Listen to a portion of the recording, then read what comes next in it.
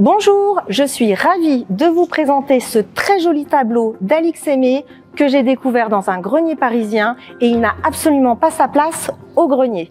C'est une œuvre d'Alix Aimé. Dès 1920, elle s'installe pour vivre à Hanoï et en fait, elle va découvrir et remettre à la mode euh, la laque vietnamienne notamment et il y a vraiment un mélange de styles, une rencontre entre l'Asie et l'Occident dans cette peinture. Alix Aimé a vraiment une façon très personnelle de peindre, que ce soit tant au niveau des sujets, de la poésie, de ce qu'elle représente et de la technique utilisée. Là, on voit vraiment le fond doré qui fait ressortir euh, cette jaune vietnamienne. Ça fonctionne vraiment très très bien. Donc, c'est un très joli tableau que nous sommes heureux de présenter prochainement en vente aux enchères chez Milon au mois d'octobre